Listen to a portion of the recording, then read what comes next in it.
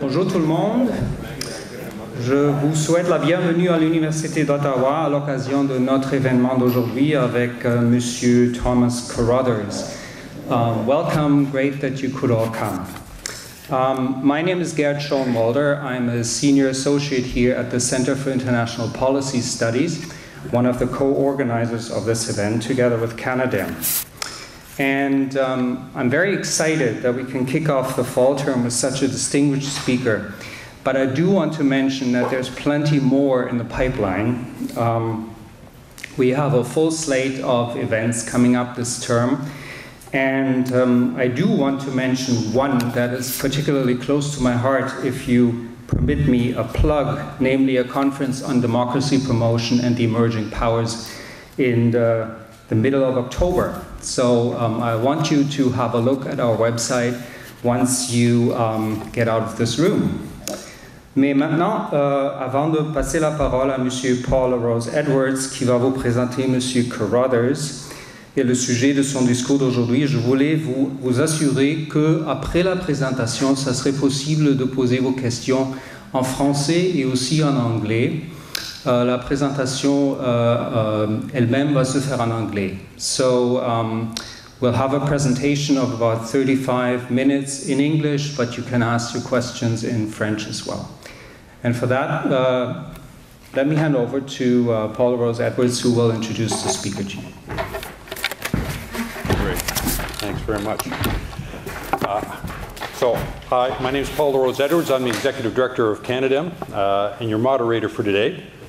Uh, I want to thank Gerd Schoenwalder, uh, Isabel Carrar, uh, David Petrasic, CIPS, U Ottawa, for having collaborated with us on this one and providing such a lovely venue.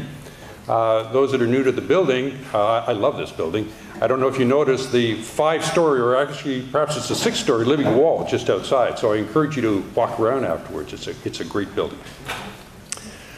Welcome to all of you. Uh, the response to today's event has been quite overwhelming well, we do have a great speaker with us today, and, and uh, but also my colleagues, uh, uh, Alicia Todd Matthias Trudowski uh, took great initiative in inviting Tom up, and also in collaboration with CIPS in getting the word out about the event.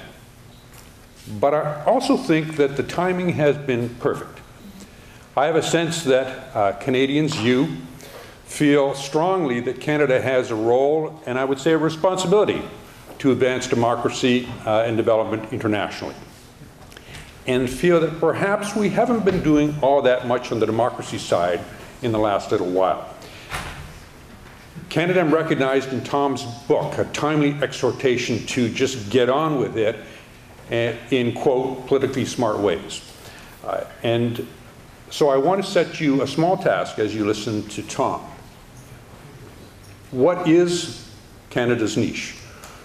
We may not be a big player in the democracy side so far, but we can be a smart player, and we certainly have the resources to do it. And so I would encourage you to start formulating some uh, tightly focused, short questions for Tom uh, after his talk to help drill down into what is Canada's niche in the democracy promotion side. Tom and his book in it, and it's a great read. I know some of you uh, will know that already, uh, and the rest of you are about to find out. Uh, it, and by the way, we have uh, some extra books on sale afterwards, but Tom would be pleased to sign the books of those uh, that have brought them uh, with them. Tom, Thomas Carothers is the Vice President of the Carnegie Endowment for Democracy, International Peace in Washington. He's also the director of their Democracy and Rule of Law program. Tom started his democracy uh, promotion work in the State Department uh, in collaboration with USAID, and then for a while he practiced international law.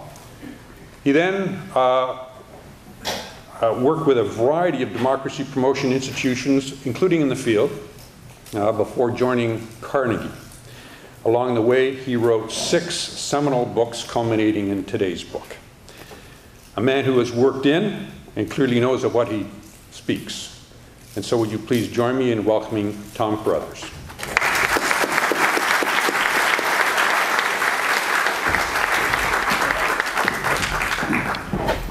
Thank you very much, uh, Paul, for the welcome, and thanks to Canadem for the invitation to come to Ottawa to give this uh, talk, and for other meetings, and also to uh, the University of Ottawa for the warm welcome and the wonderful building and room and great atmosphere here. One of the puzzles of the field of democracy assistance or democracy support is its relationship to the much larger field of development assistance and development support. It's been something of a puzzle, uh, I'd say even a mystery to me over the last 20 to 25 years of watching these two communities work sometimes alongside each other, sometimes quite separately from each other, sometimes at odds, sometimes more comfortably. And I remember about 20 years ago, I was in Kazakhstan one cold January, and I was in the hotel that night. I was there working with the parliament on a parliamentary project. And uh, we had repaired to the restaurant that evening. Uh, and a little group of us democracy people was sitting there, and the restaurant was completely deserted except for one other table of obviously Westerners and obviously probably assistance people, but we didn't know them or recognize them, and they looked at us and we looked at them. And finally, one of us went over and said, Who are you guys? Um, and they were from the World Bank and consulting team, and they were there doing privatization work. And they said, What are you guys doing? We said, Democracy, Kazakhstan. And they said, That's a bad idea. Um, why are you doing that? And we said, Because, you know, fall of the Soviet Union, democracy. And they said, That's the last thing this country needs. This country needs a steady hand, get its economy fixed, and so forth. And that's what we're going to do. So why don't you just go home and come back in about 25 years and do what you have to do? And we said, you're going to do a privatization program that's going to create a whole bunch of new elites who are, you know, entrenched and steal all the money in the process of that program because you're not being very political about it. And you're going to doom this country to a semi-authoritarian system. And if we come back in 25 years, it's going to be worse.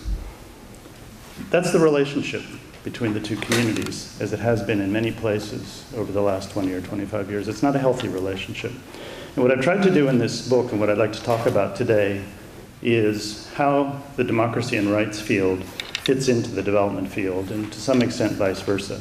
Maybe a little different than the talk that you thought you might hear today, but I'm always happy to talk about current events and we can talk about current challenges to the field. But I want to take you on a little bit of a, a tour of what's happened over the last 20 or 25 years, because I think actually this is a key issue, both for democracy work and for development work. The development field is haunted by a fear. It's haunted by the fear that despite all of the careful studies that we do, all of the experience on the ground, all of the learning efforts, that we're repeating the same ideas and the same mistakes over and over again over the last 50 years. And there's a puzzle in the development field. We're constantly learning, we're constantly trying new things and testing Yet when you go back and look at the record of development work over the last 50 years, it's unmistakable that there's a tremendous repetition of ideas. You take a concept like participation, you can go back over the decades and find that idea surge forward in every decade as though it's a new idea. We should have participation in development, participatory development, and it's like a cork that comes back to the surface again and again. As my co-author, Diane de who lives in Europe and couldn't be here with me today, and I when we were writing the book, we used to play a game. She would send me an excerpt from a document from a development agency, and the subject line in her email to me would be, Guess the decade. And I would have to guess whether this fragment was from the 1960s, 1970s, 1980s, 1990s, 2000s, or this decade. Six decades. It was dispiritingly difficult uh, to figure out. Often I would see a cutting edge program on women's leaders at the local level in Bolivia, 1963. Um, and this problem of, in a sense, I put it, put it more vividly, that we're in, the, we're in the waters of development and change, but we don't know whether these waters are a whirlpool or are they a river. That's the fear that haunts the development community. Are we simply cycling around? or are we actually getting somewhere? In the last 10 or 20 years, the idea of politics has come on strong in the development field. You hear people in development organizations that didn't used to talk about politics talk now very explicitly about the need to take politics into account, to think politically, to act politically. As a British Minister for Development said back in the 2000s, politics, getting the politics right is central to development. Yet, I can tell you from experience, if you meet that minister and you listen to the speech and you say, Oh, so does that mean your country's assistance is very political? He or she will say, No, no, that's not actually what I meant. We just have to get the politics right. And I'll say, But how do you do that without being political? Uh, this is a central conundrum. There's lots and lots of talk about politics and development, suffusing the development assistance community but a tremendous amount of incoherence about what it really means in practice. this book is an attempt to unravel some of that confusion and I hope put a little bit more order into the subject. Now, let me start by just clarifying what do we mean in the book by assistance being political, because this is, as I said, the source of a lot of confusion. There are two ways in which assistance is always political, always has been, always will be. And that is first that many assistance actors, especially governments, inevitably have interests that underlie the assistance that they give. That's a fact. It's a fact of life. There's no, it's not a surprise that the United States gives more assistance to this country or that country than this other country because they happen to care about the geopolitical situation of that country and so forth. That's just a given. There are a few countries, and sometimes Canada I think is, is one of them, but not always, that you know, are able to carry out a certain amount of assistance free of geopolitical interests, but it's actually more the exception than the rule in the world. So in that sense, I would acknowledge, and I think most thinking people would, of course assistance in many cases is simply political because it's serving lots of interests. Assistance is also inevitably political because even though it may focus on an explicitly socioeconomic goal, like privatization, that's a political choice in a society. Things that developmentalists treat as unquestionable values, like better health care, a rational tax system, a coherent privatization system, are in our own societies intense areas of political debate. Nothing is more political in my country than debates over health care. Uh, unalloyed good it may be, but it's an intensely political subject. And so, in that sense, okay, assistance is always political. There are other interests at work, and socioeconomic issues are political. What we mean is something different. When we hear developmentalists talk about thinking and acting and being political, they're talking about two things that are different. One, the assistance world in the last 20 years has started to articulate explicitly political goals in the assistance, which it says the goal of this particular assistance program is a political goal usually put in some terms of democracy, rights, democratic governance, and so forth, but making explicit political goals in assistance. That's one way in which assistance has become political.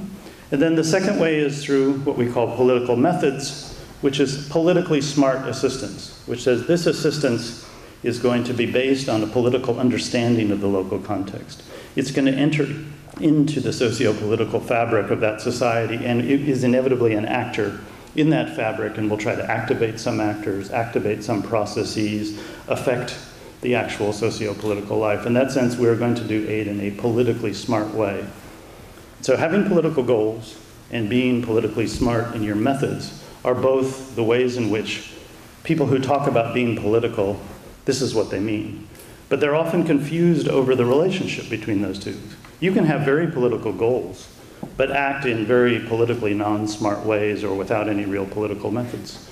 You could go to a country, for example, and say, we think the legislature could work much better and we'd like to do a parliamentary strengthening program. But you could do so in an entirely politically naive way with no focus on political methods. You could go and do a local children's health program that's entirely apolitical in its goals, but be intensely political in your methods of working with the ministry, trying to get a coalition of actors and so forth. So, what's confusing about this area first is separating out the big political issues of interests and the, the, political nature of all objectives from the fact that what we mean is having political goals and political methods, and then the confusion over the fact that you can have political goals without methods and so on. Now, let's go back to the foundations of the field of assistance. In the 1950s and 60s, when the modern field of development assistance was born, it was born on an apolitical foundation this is what we're still, in a sense, working away from these days, is that assistance was, in its initial conception, was aimed at being apolitical. And when you go back to the documents in the 1960s, or actually the entry of the World Bank in the 1950s into the developing world, the major bilateral actors in the 1960s, there was an emphasis on apolitical goals, that this would be about poverty, it would be about economic growth. And at the time, the international context was that most developing countries were not very democratic and were becoming less democratic across the 1960s. And it was hard to have openly political goals because countries were headed in an authoritarian direction for the most part. It was the Cold War, and most Western aid actors didn't, they certainly had political goals in the Cold War, but they were being told don't mess with our politics locally and don't play political games with your assistance. So there were strong pressures in that period to make aid very apolitical in its goals. And there was also an initial mindset in assistance to use apolitical methods. There was very much the belief, it was a bit naive, it reflected the idealism and inexperience of the time, to think that an injection of capital into a newly developing country and injection of some technical knowledge, those would be the keys to development. Give them the capital, capital that they need, give them the technical knowledge, they will develop. And so neither of those were especially political methods. Some money, a few technical, sort of some technical know-how, you'll figure out how to develop. And so both in the goals and the methods of assistance throughout, from the 1960s through the 1970s and 1980s, there was a tremendous sort of apolitical assumption about this work. And people explained it to people in other countries as being apolitical. They cultivated an apolitical language about the assistance. And they often denied the political nature of the assistance. No, no, no. Uh, we don't do that when it comes to politics. Suddenly, in the early 1990s, that story changed. and it changed remarkably quickly. Suddenly, in the first few years of the 1990s, almost all of the major aid actors began articulating political goals. Uh, in 1991, for example, uh, a strategy statement, or essentially a white paper by the U.S. Agency for International Development said, quote, political development is central to social and economic development. This was an agency which for 30 years had been denying any political role in its assistance, waking up and saying, oh, by the way, did I mention political development is central to socioeconomic development. And in the charming way that official agencies have of putting forward a new policy with no explanation to what happened to all those other years when you're doing something completely different, it's presented as entirely self evident. Starting from today, this is the policy and this is the knowledge. And all of the major aid agencies did that. Suddenly, they were all saying governance, democratic governance, human rights, participation, rule of law. There was a swirl of terms that quickly became adopted within the assistance community that seemed related to each other, but actually, as I'll talk about, represented various different things. Why did this happen? Why was there this door opening to politics? It happened because, for two very different reasons, and this is often confused by people that they don't see the two different reasons and the relationship between them. One reason was because of the international context of the times, the end of the Cold War, and suddenly the greatest spread of democracy in world history in those years. In the early 1990s, of course, the fall of the Berlin Wall, democratization in sub Saharan Africa, continuing in Latin America, parts of Asia, and so forth. And the world was different. The world was changing. It seemed to be becoming democratic. And if you were an aid agency, you needed to get on that train. You needed to be responsive. This is what people were talking about in this world. This was the wind of, of, of history. So there was the obvious change in the context, which also with the end of the Cold War, lowered the barriers to sort of political intrusiveness and concerns about sovereignty, at least in some places. You could arrive in another country and say, We're here to work on political issues without them saying, Oh, this is a Cold War game between you and the Soviet Union, or the Soviet Union and you. You could say, No, this is, this is a new era.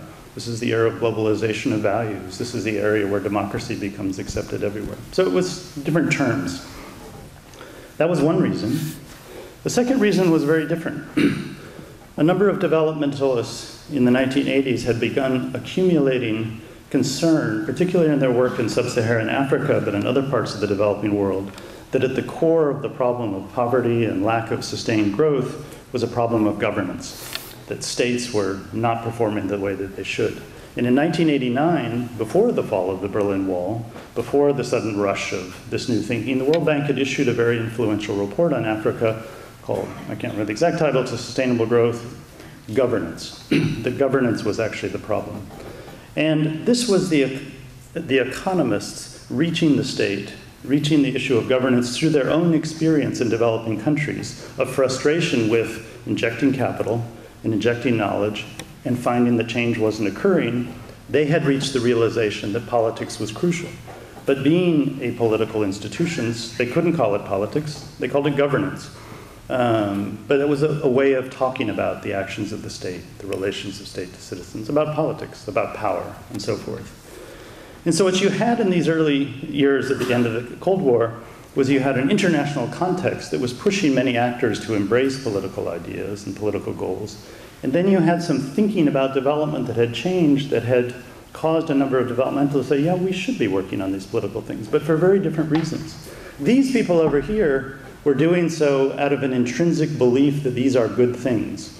And if you pushed a democracy promoter in the early 1990s and said, Paul, you're out there in the world hawking this democracy, are you sure that's going to lead to wealthier societies? He would have said, oh, yeah, I think it definitely. It's a good thing for everybody. Democracy is a good, trust me, it'll get you there. Uh, I'm not quite sure what the relationship between democracy and economic development is, but it's a good thing. The, the democracy crowd was not very informed about socioeconomic development and not all that interested in it in some ways. They were, they were focused on democracy and rights. The developmentalists who'd arrived at this governance conception, they were not interested in the intrinsic value of this governance or that governance. They just said this is the tool to get the kind of socioeconomic growth we think we need. So we're doing this for instrumental reasons. And if you show me a different kind of governance that's good for socioeconomic growth, then I'll promote that. You know, I'm just trying to get to socioeconomic growth and socioeconomic, you know, uh, reduction of harm. So you had, but they sat in rooms together and they began having meetings and issuing strategy statements saying governance, democracy, rights all go together, but it was two very different impulses. Now, and actually three in a sense that democracy and rights became somewhat different a rights community and a democracy community, which is a, another long story and an interesting one, but there were really separate streams there as well. Now, what happened to this changed context over the last 20 years? It looked like a fusion was starting to occur of the traditionally separate areas. Has that occurred? In some ways, it has. There has been the establishment of a whole set of democracy, rights, and governance programs that almost every major aid agency or foreign ministry engaged in aid or major private foundation and so forth. Almost everyone is doing democracy, rights, and governance work in some way. It represents, roughly speaking, about 10 to 15 percent of the international assistance field now, which is small compared to still health and certain other programs, but you know, it's a large amount of money is being spent on this field. And there are programs in almost every country struggling with political transition or political change. If you go to that country, you will find lots and lots of uh, foreign funded or foreign people there working on political process, civil society development, governance, and so forth. So there is a big body of change in that regard, a big set of assistance. And assistance providers have been trying to use political selectivity or conditionality in some places and saying we'll give our assistance more to countries that follow a certain kind of political path. And so if this country has bad elections, we might reduce assistance or when we, a Scandinavian country, are reducing the number of countries we give assistance from from 40 to 20, we're going to use as a criterion the degree of adherence to democratic values and so forth. Interestingly, as the 20 years have evolved in all of these programs, these initial streams, democracy, governance, and rights, have started to coalesce around a set of principles that they all seem to share and which have become a kind of common platform. What are those four? There are really four principles. Actually, I call them the four magic words of development. If you take me into any aid organization tomorrow and say, you need to make these people happy, say some things that will make them smile and nod. All I have to do is walk in and say, here's what I, here's what I think is important in the world participation, accountability, transparency, and inclusion. Heads will nod. Trust me, people will smile. Um, the governance people in the room will think, ah, yeah, those are the, that's the kind of principles of governance that we're looking for. That's what we mean by good governance. We mean it to be participatory, transparent, inclusive, so forth. And I like those words because they don't have any ideology to them. They're not democracy. I can go to China and talk about, of course, you want your government to be more accountable to your people. Pretty hard for a group of officials to say, no, we don't want our government to be accountable to its people. We had to argue about what accountability means and how you do it, but pretty hard to disagree with that. Whereas if I go to the Chinese and say, we want you to be democratic, then we don't have a good time. Um, the democracy people in the room hear these four words, participation, transparency, they hear them and think, that's good. These are the stalking horses of democracy. As long as they agree to these, they're doomed. Um, because once they agree to these principles, then we'll show them what we really mean. Um, is how could you have accountability unless people get to actually vote out a government or say that we don't like it? You've got to have free expression and maybe political choice. And these are, don't worry, they don't sound democratic, but they will be. The rights people in the room, they also love these four words. They say, huh, funny, you just described the rights based approach to development. That's what it's all about. These four principles, because these are the key sort of rights based ideas. And so what's interesting is the different impulses in the early 1990s have converged around these concepts for, I think, for good reasons, but also because a community that doesn't always know what it's doing, is quite heterogeneous and doesn't always agree with itself, needs concepts that it can sort of gravitate towards and agree on. It's not a bad thing, but the danger often is it's a superficial level of agreement or understanding that doesn't really get to the differences below. come back to that. Second thing that's happened so, one thing that's happened over the last 20 years, there has been a movement towards political goals and the embrace of political goals and these principles. The other thing that's happened is there has been an evolution in political methods towards more politically informed methods. Because what happened was, once in the early 1990s or in the 1990s, once aid actors began working in countries and saying, we really would like to help change the functioning of your state institutions, uh, their first instinct was to carry out politically not very informed programs. We'll train all of your judges. We'll provide software for your courts. We will give your parliament new microphones. That's not a joke. There's a program in Nepal. Um, we will do these things and that will change your institutions. They tried that for five or ten years and discovered that giving new microphones to the Nepalese parliament didn't really change the Nepalese parliament all that much. People had to sit up straighter because the microphones were tall German microphones, and so it's harder for parliamentarians to slouch down in their chairs, but didn't really change the actual patronage system on which the parliament was based. and so people began to discover these institutions are rooted in political problems, which we'd better understand if we're going to actually stop wasting money on institutional programs which are simply bouncing off of not very compatible foreign realities. And what you see in the early 2000s was a sort of breakthrough of we need to do political analysis for development work. And the first big breakthrough was the drivers of change work. And Sue Unsworth, a British developmentalist, very I think, very wise person, had this idea of why doesn't DFID, the UK Department for International Development, carry out a series of studies of what are really the drivers of change in this society, as opposed to saying, this is where the society is or this is where it was, just what, what's moving and why and how could we be part of that process. And this unleashed across the development community a wave of interest in political economy analyses, as they're called, which try to understand the political underpinnings of developmental change. The Swedes called it power analysis. The Dutch came up with a long acronym that sounds like uh, or something, sounds like a Dutch word. Um, and the Norwegians came up with context analysis. There were different terms, but they were all suddenly saying, as a smart developmentalist, I need to get into the political fabric of the society and understand. A, that's the start of a more political method. And then they began saying, wait a minute, just working with the government institutions, there's no impetus for reform there. I need to work directly with the citizens.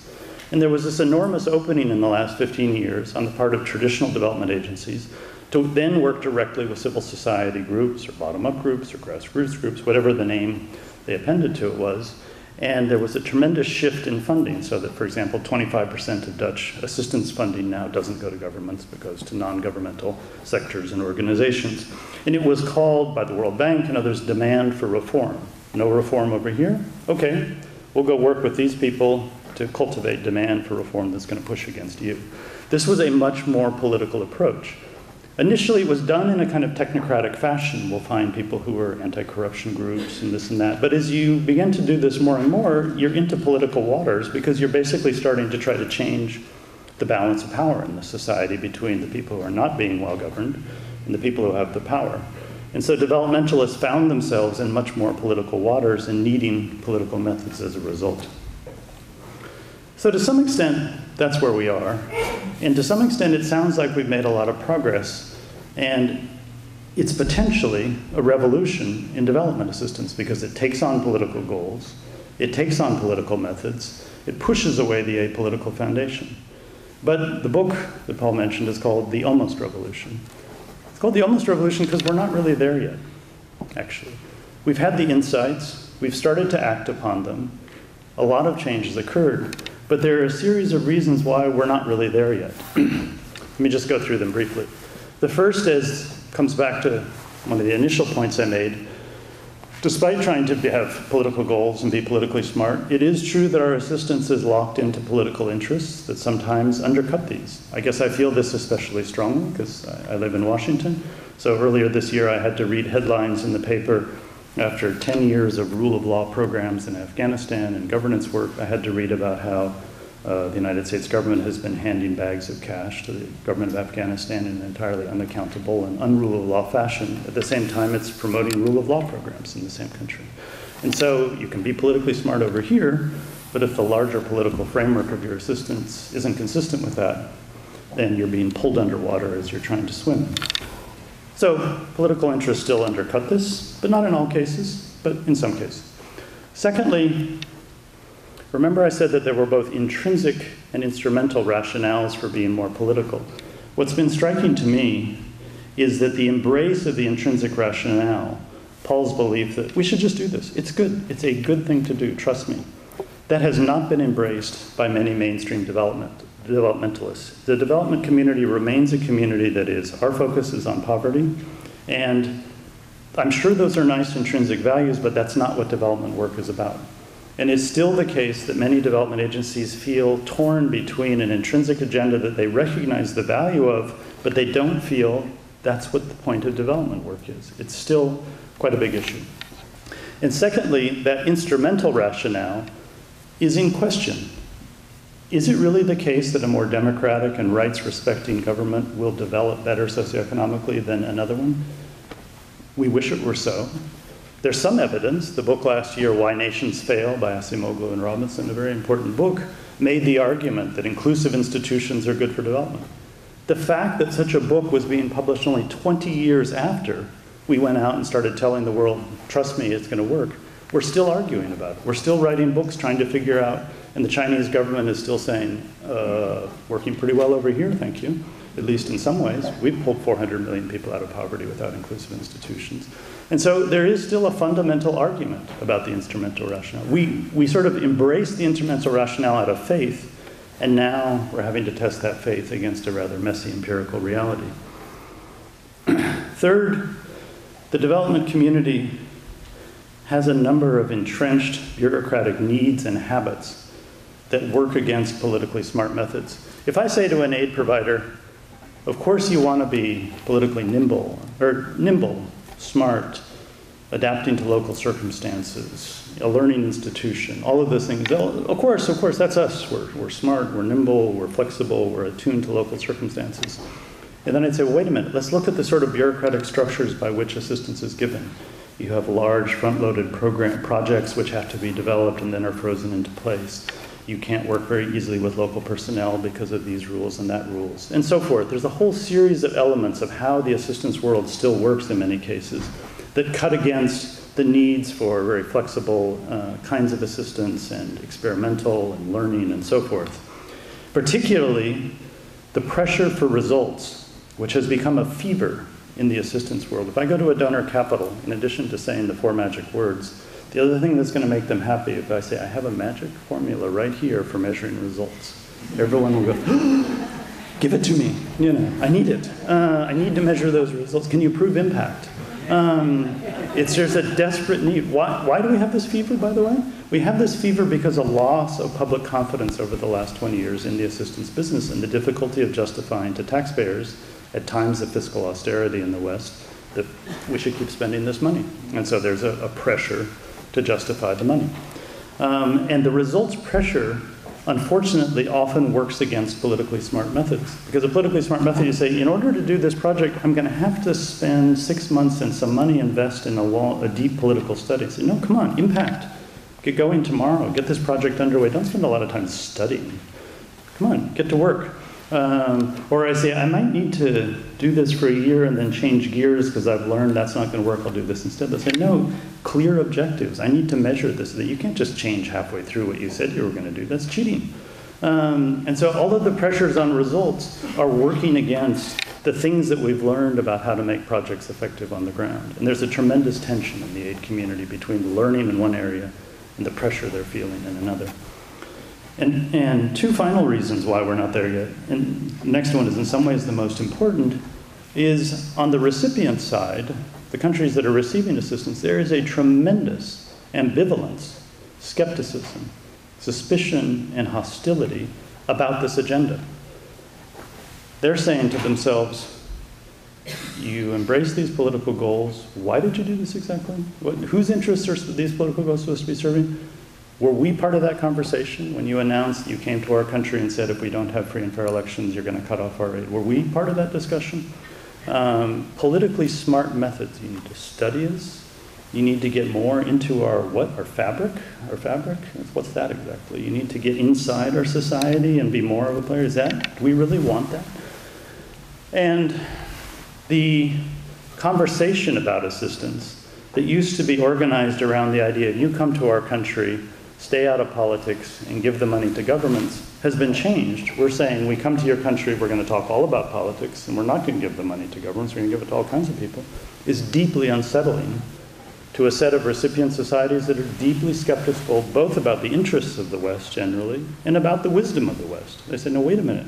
Political financing is so well run in your society that you're going to tell us how to handle political financing in our society and any series of issues politically which the wind of history in the early 1990s that empowered many people to go out and say, we, we have an answer politically. It's a lot harder today, 20 years down the road, to arrive in another society and say, guess what? I'm from a quote established democracy. I've got answers. There are a few places left, maybe. We'll talk about Canada's niche. But I can tell you, coming from the US, it's harder to have a credible pose in such a role than it used to be. And the final reason we're not there yet is the basic deeper structure of international politics has changed. There are more models on offer in the world now. You arrive in a country as an assistance actor. There are other assistance actors in the country. They may be from uh, Gulf monarchies, they may be from China, they may be from Malaysia, they may be from Brazil. They have all different ideas about how development happens, the importance of politics, the role, and they offer their money on different terms. They offer different kinds of programs. I think that's a good thing, basically. Competition, heterogeneity are good. But it undercuts, if we're there, Western organizations saying you have to follow this political path or do things this way. They say, you know, I have choices. Tell me about the attractiveness of your, your path, and then let me think about the choices. The world has changed profoundly. And so, in a sense, the deeper contradiction is it's taken us 50 years to get where I think we should be, which is to start to really incorporate politics into our socioeconomic thinking about development. But in the time that it took us to get there, the underlying conditions for being in a position of strength have eroded significantly. So that's why where we are is A, it's extremely crucial, I think, to get our thinking organized, to get clear what we mean, to figure out how to do it. And secondly, to be persuasive with people in other places about it. This is our last chance to get the assistance equation, in a sense, right. And the assistance equation isn't just assistance, it's our relationship to these other parts of the world. And so the almost revolution is the attempt, what I've done in this book, is to set out a plea for we headed down a good road. Let's see if we can get serious and get the rest of the way there. Hope that's helpful to you. Look forward to your questions and comments.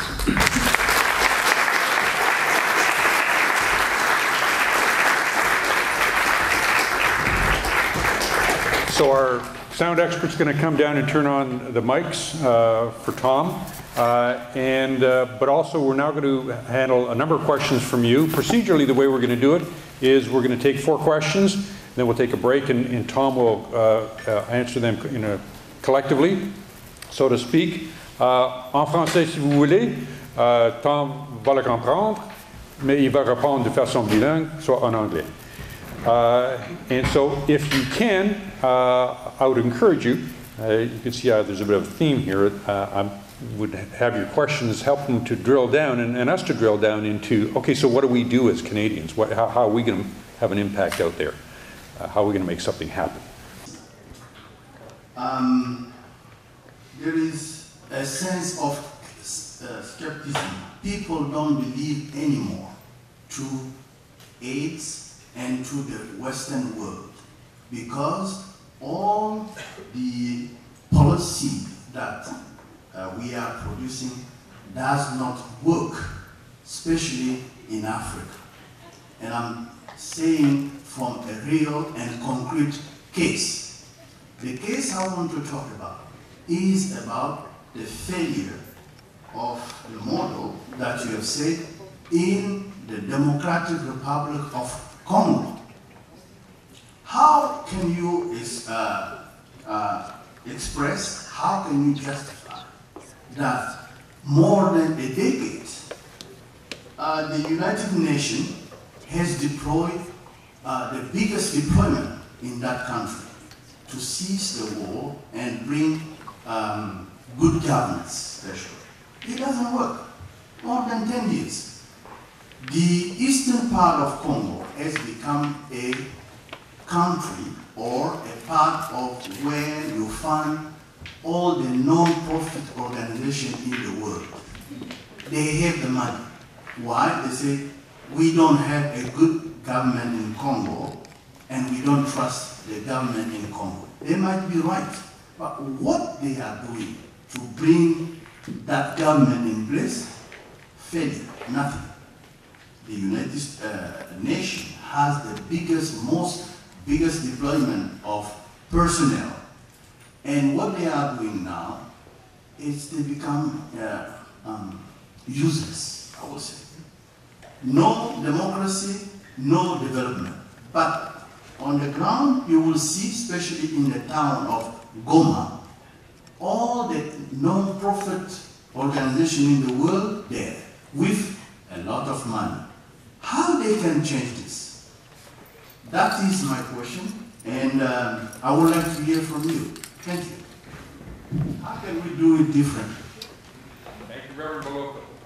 Okay, something in our, we will All right, I'll, I'll try to keep it short. Um, so your book addresses the integration of local stakeholder communities um, in the design and execution of democracy aid projects, as well as the political goals. You talked about inclusion, one of those four keywords that everybody loves, um, and politically smart methods. We talking about transfers of ownership, what have you. Um, and so my question relates more specifically to expand upon that section of your book, which I loved, um, on, on youth mainstream uh, of democracy aid programming in the context of uh, a demographic youth bulge that's occurring in much of the global south, uh, but also of a disengagement of youth from political, uh, traditional kind of democratic institutions across the world. Um, to what extent is that challenged, or, or to what extent are, are, democratic participation and engagement of youth emerging as uh, key goals or objectives of democracy programming at the national uh, and multilateral level, because there's a lot of discussion now about the post-2015 Millennium Development Goal uh, agenda. Um, and, and perhaps a related question, since we're trying to be really concrete here and talk about how Canada can move forward uh, constructively in this direction, is what sort of a niche or, or, or particular resource might Canada be able to leverage in, in, in, in being at the forefront of engaging youth more uh, in democracy around the world? Thank you, Arthur. Thanks, Paul. Um, I've been doing um, public administration reform, rule of law, and so on um, with DPKO in Kosovo, UNDP in Afghanistan, and others.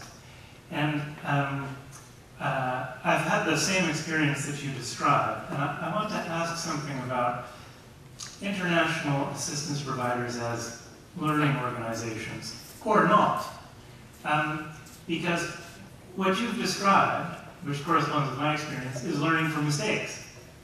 And you from my experience in executive education, you can learn more from successes.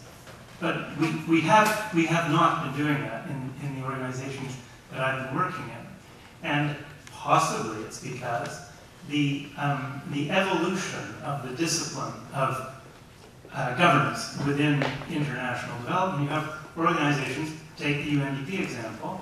When I started doing this kind of work, UNDP said, we're not in governance because that's a matter of national sovereignty.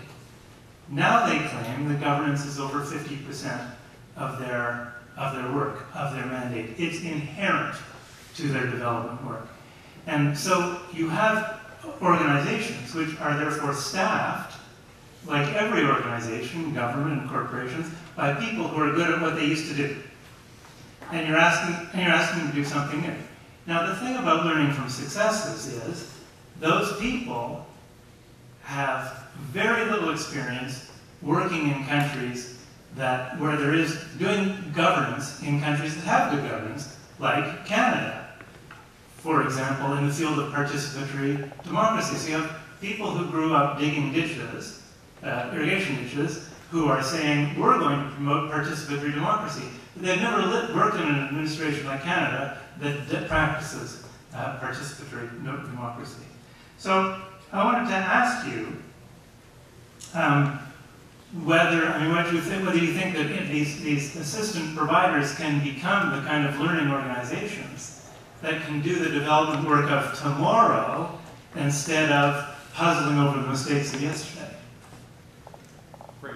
Now, you're going to be first on the next tranche, uh, so we'll take four more questioners uh, after. Uh, Tom responds to the first group, so you're first. Feel free to stay up if you want, but, I'll, I'll stay. but about, okay, great.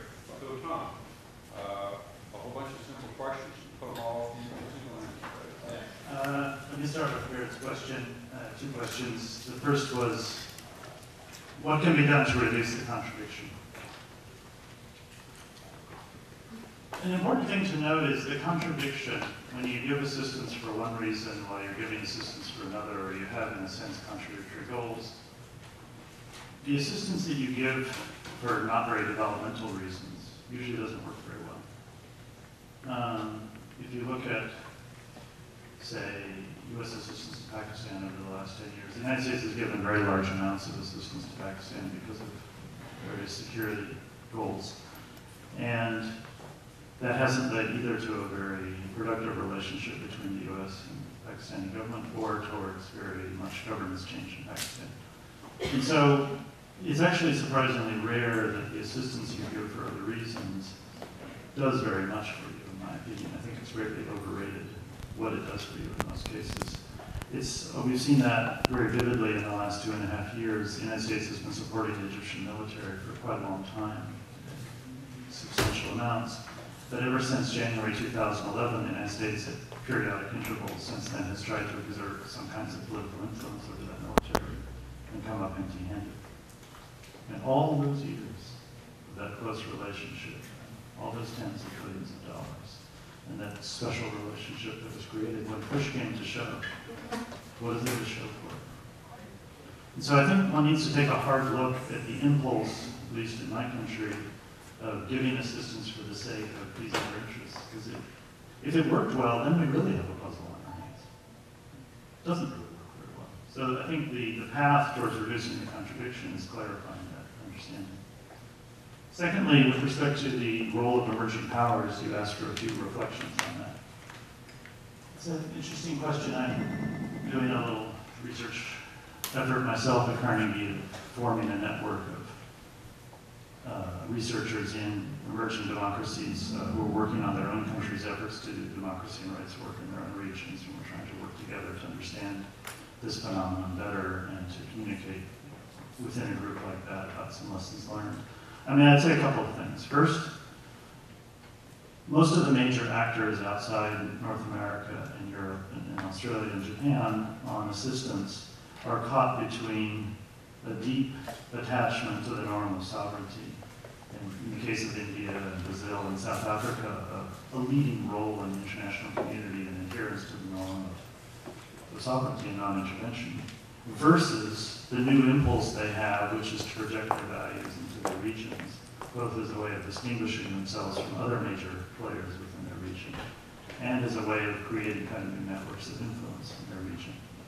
And so Brazil, for example, I think is quite torn between within the Brazilian Foreign Ministry, which is a preserve of traditional thinking about sovereignty and kind of a Non-Aligned Movement and so forth, versus the new desire for Brazil to be a regional leader, and that means more than just economic cooperation now. It means the Brazilian Workers' Party, for example, now has active international cooperation with left-of-center parties in other parts of South America to say, we have a model. you know, we have squared the circle of a social democratic ideal with a capitalist economy. We're making it work in Brazil. You could too. And so I think this tension is an interesting one. And I think they're still working out, it's partly generational. I see it as somewhat generational within the ministries that I see, like in India and elsewhere. Interestingly, Indonesia seems a bit less caught by this tension, because Indonesia, although back in the 1960s played a significant role in the Non-Aligned Movement, in the last 20 years, Indonesia has not been quite so steadfast. And Indonesia sees its interest in Asia, its relative relationship to China, for example, is, you know, very much about Indonesia values actor And the Bali Forum, which Indonesia has put a lot of energy into and attention, is an effort by Indonesia to say, we have a distinctive profile in the region, and it's different than China. It's actually different than, than others, you know, as well, Vietnam and others. And so I think Indonesia is an interesting example of a country that's a bit less caught by that. Now, they have to go through their own learning curve about how to do this. I was, I won't mention the country, I was having a conversation with somebody from one of those countries who's involved in this kind of assistance. And he said to me, we're not like you Americans, we don't go out and push our model of democracy the way you do so, so you know, such an ugly fashion around the world. So then 10 minutes later, he was in the middle of describing some program, and it was all about the virtues of ex-democracy. I said, not that you would ever push your version of democracy. You know, well, but that's different, he goes. Ours is good. You know.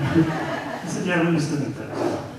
Um, so, you know, they, when people go outside their borders to work somewhere else, people are people. They know what they know, they believe in what they believe in, and they tend to think assistance is getting other people to be like you.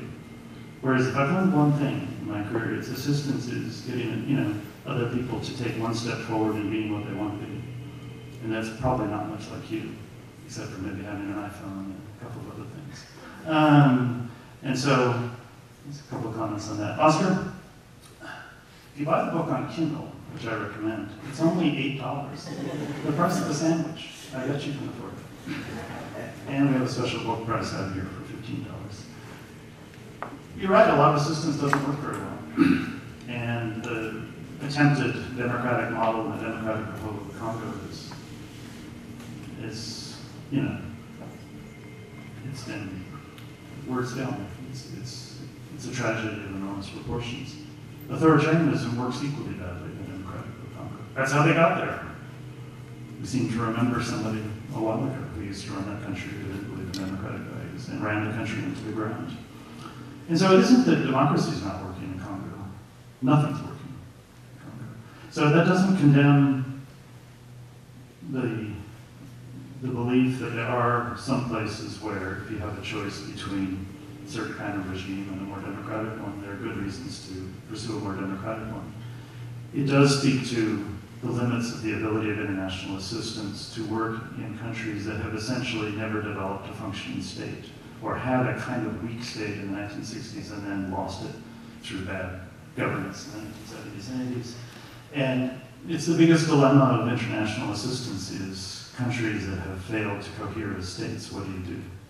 Because that's actually the single most important relationship in a society between a citizen and authority. And if you don't have authority, which is actually trying to do something other than plunder, you got a big problem on your hands. And the biggest problems in the world is that problem around the world when you look. And so I wouldn't damn all assistance because of its failure to solve certain problems. And I think there are, as, Arthur was saying, there are places where some small to medium-sized things have actually worked better. Other places where they haven't. And we could go through and chronicle them. It doesn't mean assistance is great and we have all the answers, but I wouldn't throw the baby out with the bathwater. Mateo's youth programs. The two areas that have been most concerted that I've seen on, on youth programs have been um, party uh, programs where there's been a lot of effort, particularly by Northern Europeans, to build youth wings, also the U.S. Institutes and the Germans, youth wings in parties to try to get youth to participate more. And then in a number of civil society programs that have a youth component or NGOs that are fairly youth oriented and so forth. Um, in general, it's obviously a good thing. It's been hard in the party area because parties generally are troubled and adding a youth wing is sort of like, you know, you have a sinking ship and then you build a little youth wing on it. Well, the youth wing sinks too. Um, and, you know, parties are struggling in many parts of the world, youth wing are not.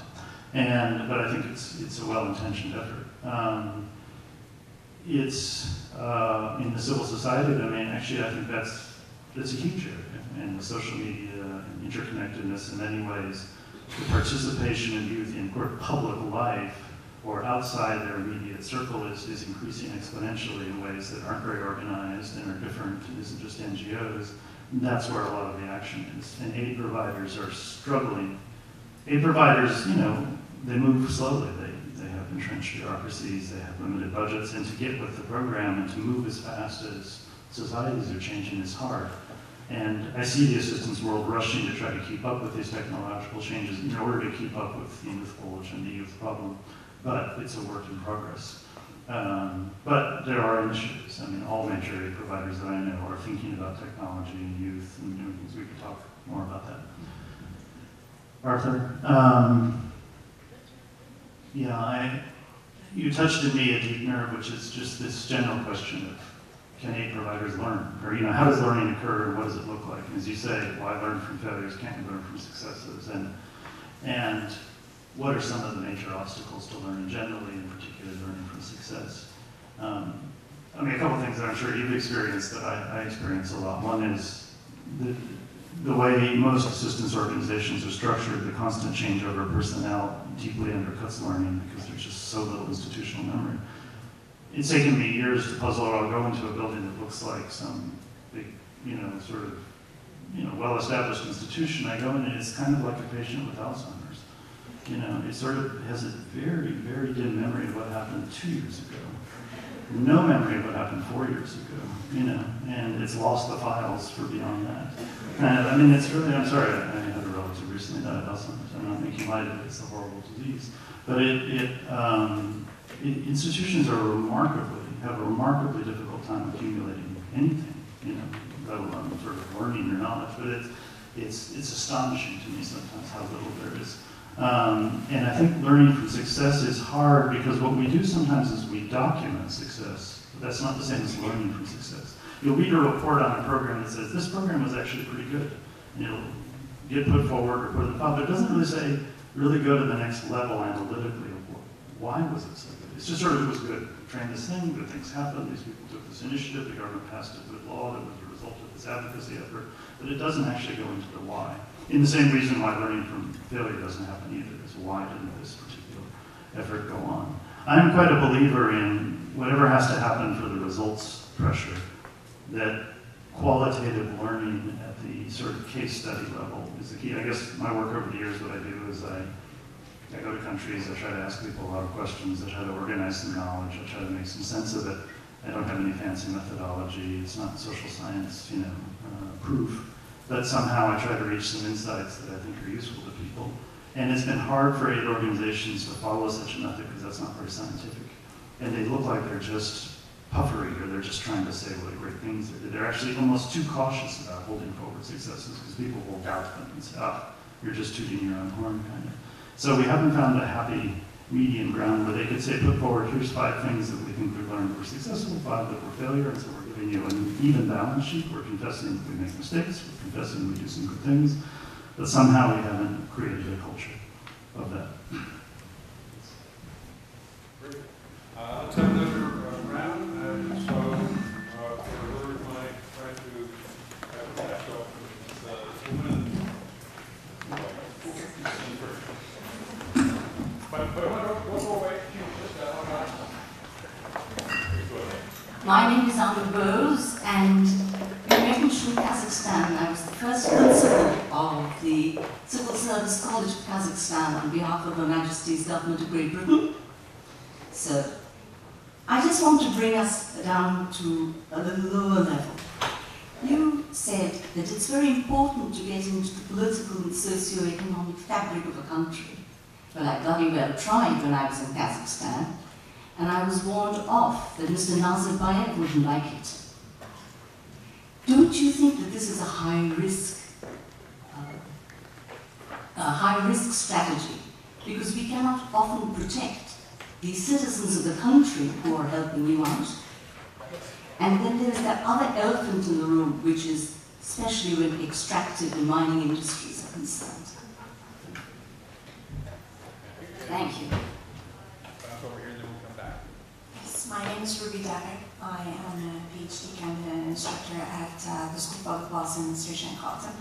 I, um, the talk was very interesting, thank you for that. I have a, a conundrum, and, and what it is is that when we talk about corruption, we talk about lack of democratic practices in developing countries, we send people from the developed countries, excuse me, to teach them more about democracies and elections and so forth and so forth. And then we raise the issue of the Democratic Republic of Congo, and then people say, well, it was about corruption, it was about, you know, authoritarianism, um, and we start the analysis uh, at a certain point in time, and we ignore some of the stuff that happened before, meaning donors being involved, or, or countries, developed countries being involved in the processes of these countries and leading to certain situations and supporting certain people that were authoritarian.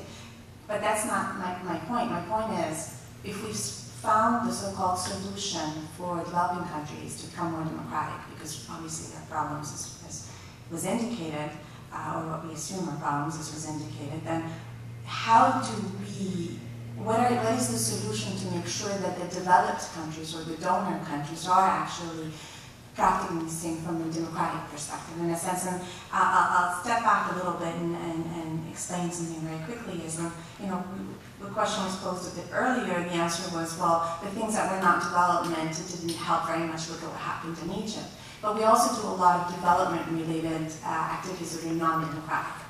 Uh, me meaning uh, the developed world. So when I was working at CIDA, uh, we did a lot of things that we talked about good governance, and we need to promote good governance, but the way we did it was not in a very democratic fashion either.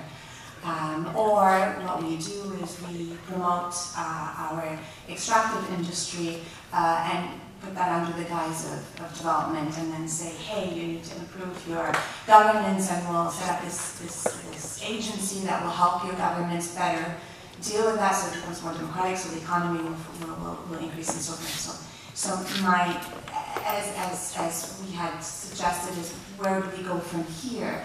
Um, I, my conundrum is, okay, maybe some people believe that we found the solution for the developing world, but what's the solution for the developed world? And not a solution as in, you know, foreign policy is foreign policy, but really looking at how we've integrated foreign policy into development, and so how do we do it from a more democratic perspective. Thank you. And don't go away because we're going to do five.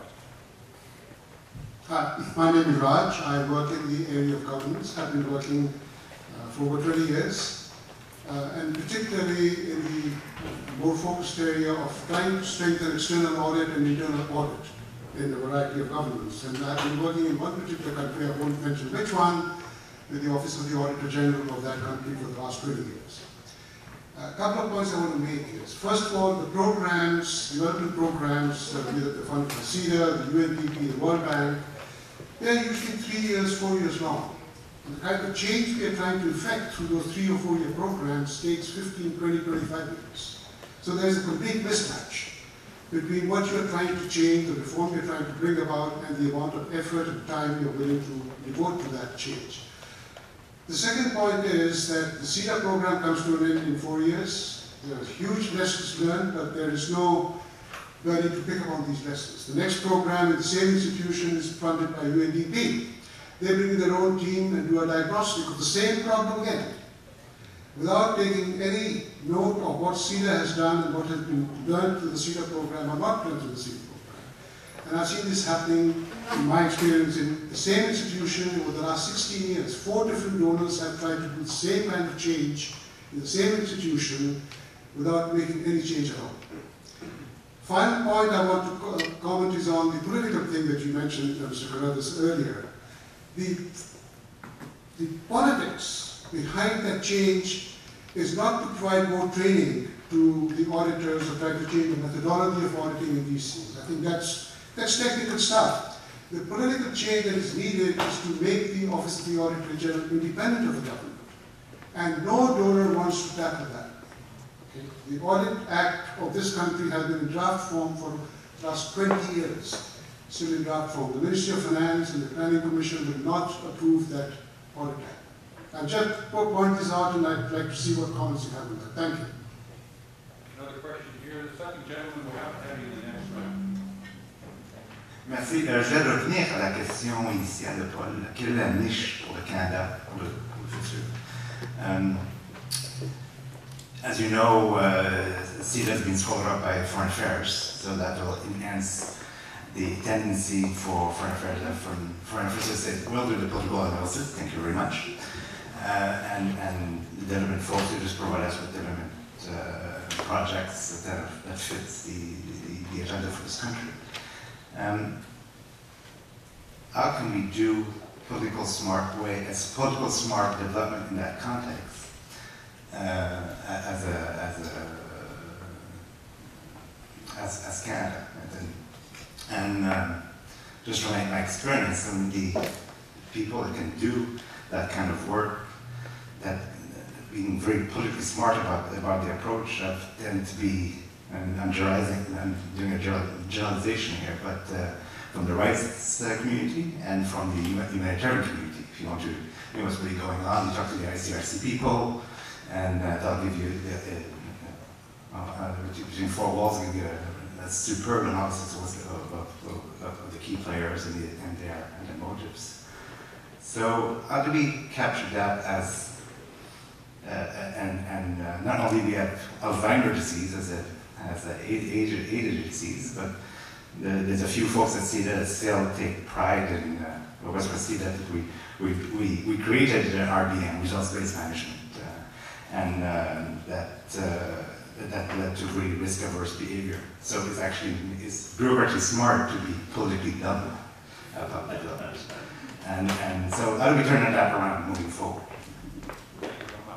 One more question here, and then we'll, uh, Carmel, group those in. Uh, I'm Natalie Brender, I'm a research associate at CIPS. I wanted to take up your uh, two comments. One that um, uh, political work and development is increasingly being done in the form of funding civil society groups, and also your one of your closing comments that there's increasing mistrust uh, within developing countries of the whole idea of people coming in and telling them how their politics should be going.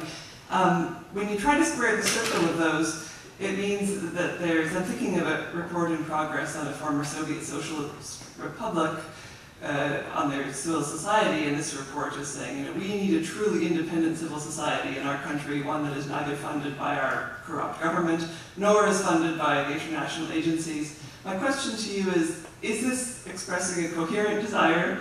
Is there anything to be done uh, about this expressed desire for you know, truly independent civil society, and is there anything that aid agencies can do in response to that desire for development of civil society that is seen to be independent, not tied to donor agencies. Thank you much. Now we will now have some answers. Let me go in reverse order this time. If you, in most countries, most developing countries, if you have a civil society that's neither funded by the government nor by international actors, you have a very small civil society. Um, and so the impulse that it sounds good, but it doesn't lead you very far in terms of what, where does that lead us uh, in terms of supporting civil society. Um, there's a lot to say about the whole pushback against civil society, both civil society as a, actually a general idea, and then about civil society assistance, you know, restrictive NGO laws, which is, is another virus or fever that's spreading in the world, is this tendency to restrict NGO funding. Um, I mean, I'd say on the former, on civil society itself, is basically, you know, 20 some years ago in many countries that opened up away from authoritarianism, there started emerging independent sectors and a lot of foreigners began coming and saying, there's this thing called civil society, we'd like to work with it, it's different than political society, and it's that we're going to engage and so forth. And really for the first 10 years or so, a lot of governments or power holders, A, they were in flux in the world, and so things were stirred up, and B, they didn't in many cases, appreciate or take all that seriously, either those organizations or the assistance that seemed fairly marginal to them. And then a series of shocks kind of hit power holders in a number of parts of the world, like the Rose Revolution, the Orange Revolution, and say in Serbia in 99, 2000, and people began saying, whoa, these groups, something's happening in these places. And they didn't really know whether it was just a couple of NGOs or actually broader citizen protests. And it looked like the foreign hand was present in these places, which it was, although it wasn't really determined of those events. And that's only continued since then. You know, Lebanon, Kyrgyzstan, and than in the Arab world more recently. And I think what's really happening, the, the pushback against civil society is actually a deeper issue, which is I think many of us in quote established democracies think the future of politics in the 21st century is really kind of power versus citizens or state versus society, and that political ideologies are fading a fair amount, not in every country, but in many countries, and um, that 21st century politics is really going to be kind of the state and civil society trying to be in partnership, sometimes being at odds. But a lot of countries, a lot of power holders in developing countries don't really want that and feel very uncomfortable with this idea of civil society as a power sector that challenges them. And so it isn't just a pushback against civil society, it's an attempt to keep control over societies that were in flux that they got their hands back on and they're trying to recontrol them. So it's pretty deep. And then civil society assistance is an extension of that. People didn't take it that seriously at first, now they're waking up, they're taking it seriously. And, and, and civil society assistance has gotten more sophisticated and, and it's smarter and more effective.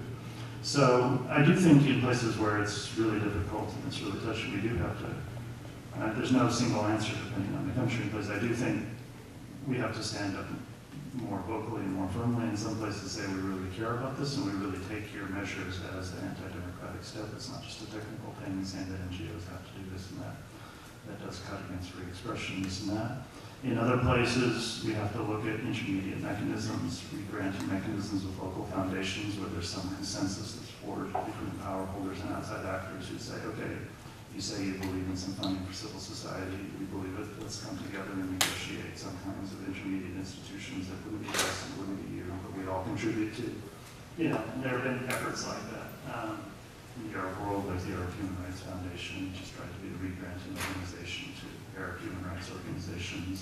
You know, there are ways you can start to do that, but it's, it's tough. But I, I think it's, you know, it's a core issue, not, um, the Canadian niche, well, I'll only talk a little bit about part of it, which is the question of ministries and agencies and the changing role. There's a little section in the book called Enter the Ministries, because, you know, in the last 15 years, foreign ministries in Europe are doing are, you know, aid agencies are collapsing into foreign ministries in many countries. That's the trend.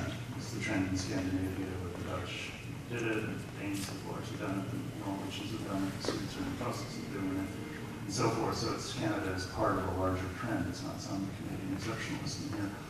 And as foreign ministries play a greater role in assistance, on the one hand, they're more comfortable with politics of development in a certain sense as they're used to dealing directly with political actors and they're used to talking politically about foreign governments and talking politics with them.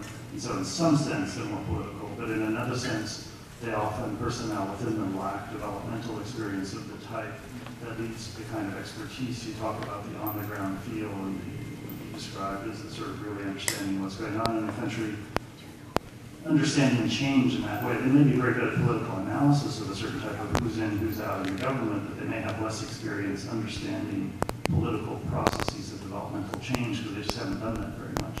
And so foreign ministries are smart politically in a certain way, but inexperienced politically in another. And watching the different governments that have tried to merge the two functions, it's worked better where within the ministry there has preserved a sort of a professional specialization in development enough that people can get the benefits of being able to be more openly political in one way, but get the benefits of learning to think developmentally and being political in that other deeper way. Those that have got the worst of both worlds are really not doing well. Uh, I won't point any fingers at any countries, but they're somewhere when you're within them, they, they're very political about development in a certain sense, but they're really quite politically naive in another way, and it's it's not good. So there have been a mix of experiences. I don't want to just, I think the cameras are rolling. Um, the Norwegian government, by the way, funded this book, so um, they're very wise politically, but uh, um, but uh, it's it's a it's an issue that has not been well studied. Actually, people have tried this experiment often for domestic political reasons without really carefully studying the experience of other governments. Britain is really the last country left with a powerful independent agency, cabinet level agency. It's now the exception, not the rule. Um, so.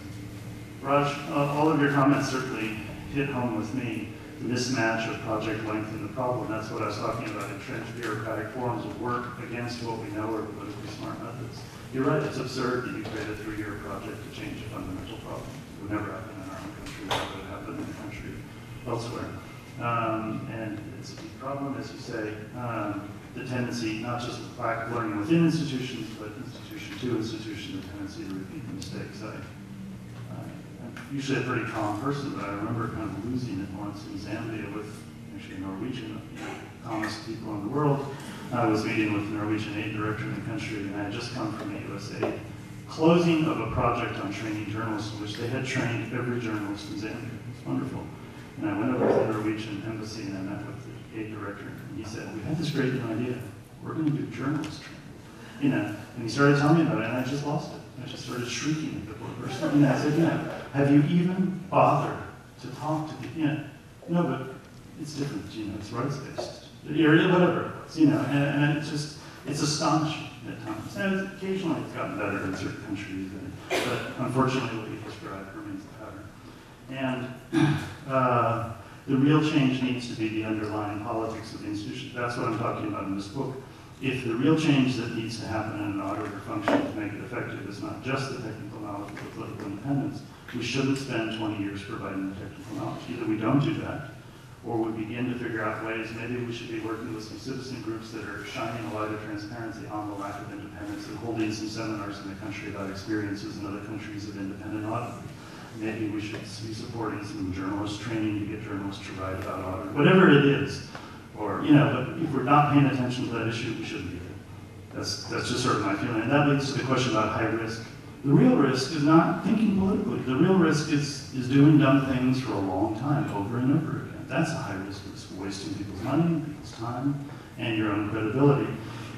It's high risk if you interpret being politically smart as being politically intrusive. It's not the same thing. If I go and work on a children's health program and I see that in this province, this, this governor really understands how to make an effective health program, this guy over here doesn't, he's using it as a patronage stone. Being, being politically smart is directing more money over here and then saying, you know, there's a competition between these two provinces. They're getting all the money, this whatever, but you have a chance to change. And you're not being politically intrusive, you're just being politically smart. And this assumption that being more political means being more politically intrusive or offensive or that is that's where our mistake lies. That's where we have to get past it. And then I had a question about um, quote, we found the solution. We haven't found the solution in the sense that I don't think, you know, US or Canadian style democracy is necessarily the solution tomorrow in this country or that country. When I say we found the solution, the solution is to integrate all elements of change in a country, political, social, economic, cultural, and to think, understand it, have our actions meet the sophistication of the problems we're dealing with. The solution is only the approach. If we go around and say, we have the solution, and we're use the phrase teaching about democracy, I'm looking for. See you. Um, uh, there you go, thank you. I didn't mean by we found the solution meaning we have the end product, everyone should do that immediately. What I mean by we finally cut across the barrier that divided the assistance world into separate parts and pretended they could be pursued independently of each other. Great. Uh, now Isabel's going to be pushing us out of the room pretty soon, so I'm going to have to restrict to just three questions. So two gentlemen that are up right now, and the, and the gentleman that I know. Well, then you're left. You've got three questions. So. Thanks. My name is Derek Konrad, and I'm a former politician who had the misfortune to uh, be critic for Indian Affairs here in Canada. Also a development issue, believe me. I read the book you mentioned about uh, why nations fail when I was in uh, Europe last year observing elections and uh, read about leadership. And I was thinking of your intrinsic and instrumental or mechanical approaches to things, uh, the instrumental being things, I suppose, like knowledge, infrastructure, economics, rule of law, markets, that kind of thing. But they seem to be able to be perverted from the purposes. And uh, the other value intrinsic here seem to me to include things like integrity, high aspirations for the people being governed, uh, ability, a sense of self-sacrifice, that this, I'm not in it for myself. Uh, self-sacrifice, yeah. Courage, things like that. do we teach those kinds of things? How do we teach those kinds of things, which I think are kind of critical to getting anywhere? And who teaches these things? Are programs in place to do such things? And I'd like Paul to answer that question as well from the Canadian perspective, because he said he wanted some questions on how Canada gets involved. Thank you. Thanks, Paul. Uh, my name is Houston, University of Ottawa. Uh, welcome to Ottawa, by the way. Still warm. Um, three comments. One would be the solution that you mentioned. I think the solution to me seems like it's only one way from the West to the developed countries. We have not seen anything that the solution that is holistic. Let us get together dialogue between the recipient countries and the donor countries. What is the way forward towards a, a democratic process? A second point, um, I call it a copy-paste of Western democracy in Africa or the third world. All the Western, uh, the Western democracies, okay, do the election. And then they do the election and then we create more Mugabe's, uh, Salva Kiir and uh, so forth. But really, maybe we need to think twice before we say, okay, let's do A, B, C, transparency, and uh, all that I've mentioned, the magic words maybe we need to think deeper and study what is this governing system in Africa, in the third world countries. How do they govern themselves before 1960s or 50s? And then we see what are the good components of the good governance and what are the components of the Western democracy, good one. And then let's, okay, bring the two together, maybe that will be the model that can, each country can govern itself with it. So what we have seen always, Western democracy copy-paste and never worked, and created confusion that you have said between the confusion between the, uh, development experts and the politicians. The same thing, African leaders are struggling with the confusion between the Western democracy and the local system that actually existed before Western democracy. Uh, maybe we should do a deeper study there. Um, if there is a system of governance existing in the third world countries, maybe we need to build on it based on the capabilities theories of uh, uh, Sen's. And if not, let's find another way. Thank you.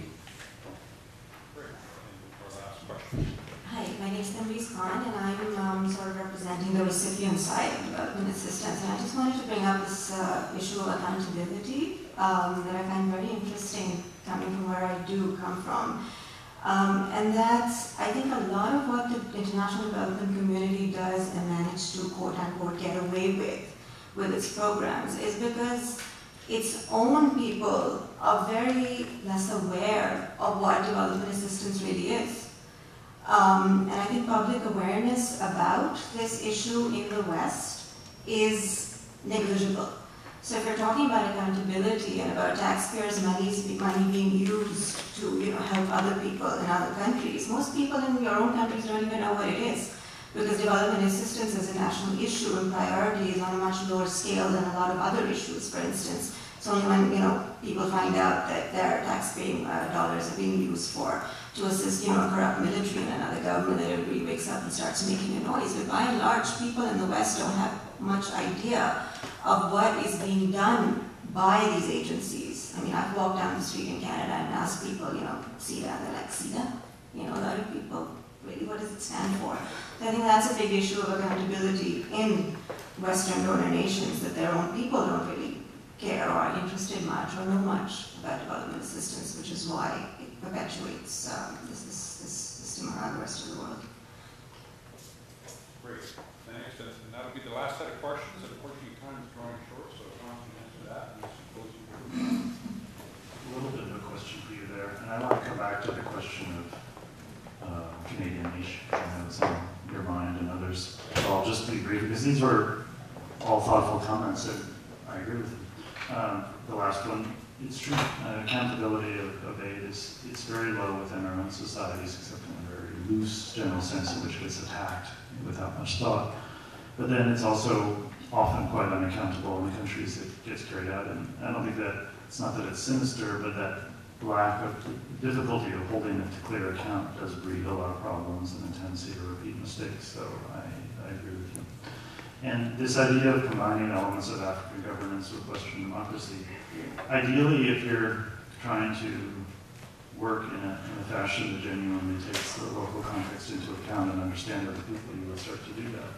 The, the question of what are non-Western forms of governance that are valuable that should be sort of integrated into Western democracy, it's surprising in some ways, 30, 40, 50 years into this century, we haven't thought it through all that well, and it's sometimes an excuse for just doing bad things politically and saying that's just how we do them in our culture, and other times just hasn't had a chance to flourish. I'm doing a project with a colleague of mine on what is the real meaning of non-Western democracy. Because actually when I give talks to non-Western audiences, usually the first comment or question is somebody like yourself who stands up and says, we want democracy, but we don't necessarily want your democracy.